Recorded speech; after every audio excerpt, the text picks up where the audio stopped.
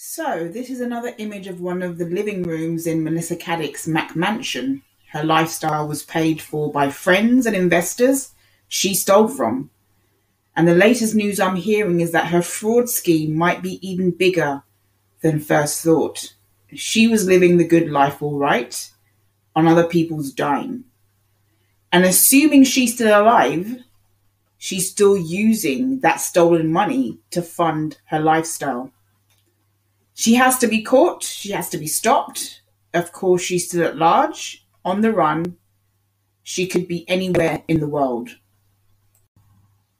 So, the episode on Melissa Caddick on 60, um, 60 Minutes Australia, the first episode that they put up on her, got uh, over a million views in just a week. And then they um, they published a duplicate episode that was exactly the same. I don't know if it's because their first episode got more than a million views in a week, or if it's because they're searching for this person and they want to, um, you know, they want to get this information out to as many people as possible. But I didn't actually know that you can upload and publish duplicate episodes on YouTube. Um, if I if I mistakenly publish a, a duplicate episode, I'm told by YouTube that I can't publish it because it's a duplicate. So I don't know how 60 Minutes Australia were able to do that, but they did. And like I said, the first episode of Melissa Caddick got over a million views in just uh, a week.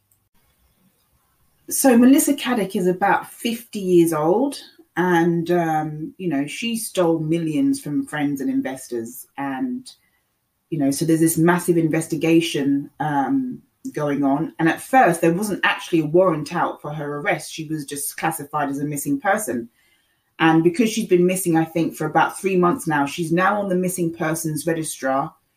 The truth of the matter is that she could be anywhere in the world. She has the means to travel. She could be deceased. You know, she could have been murdered. She could have committed suicide. I don't put my money on those things. I think that she fled, but, you know, no one knows exactly what happened. And um, so I'm not saying that she is definitely at large, because the truth of the matter is that she could be deceased. Um, I don't want to say this, but I'm going to say it. But, you know, we're in the midst of this pandemic. I think she's going to be very hard to find. And, you know, with people wearing masks and everything, but I just want you to take a good look at her, look into her eyes, look at her face. She's about 50 years old.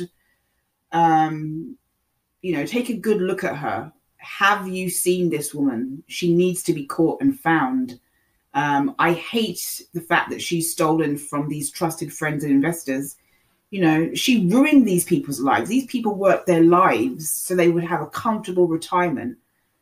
And they worked their asses off you know, to build a good life for themselves, and she stole all their money. And that's just not right. That's not just not fair. I mean, in, in America, if she was caught, she would be looking at a life sentence, 25 years at least. In Australia, unfortunately, the punishments are not as stringent, and I, that really upsets me because I I would hate a scenario where she's caught and she's only given a five year sentence. That would not be enough for what she's done at all. Um, but just look at her face, look at her the picture on the left. The image on the left is where is actually the time when the invest, investigators came into her house and were searching her house. You can see she's she's kind of she's not wearing makeup. Her hair's tied back, and she's not as you know she's not her gla- same glamorous self as she's in the photograph on the right. But just look at her face. Have you seen this woman? She really does need to be caught. She really does.